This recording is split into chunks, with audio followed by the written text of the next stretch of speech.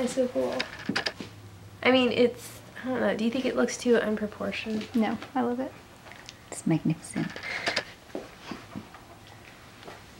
And then with the square toe. Mhm. And you'll be able to tell people you designed those.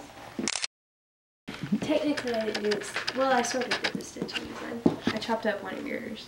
Yeah, but that, trust me, that counts. Yeah, and that- you did the that's all hardest I do part. Too, is copy, is change other people's designs. And, and you did the hardest part. You, like you said, you, you didn't let it flow off. You had to tie everything off. Yeah, I, I definitely think that counts. Okay, cool. As long as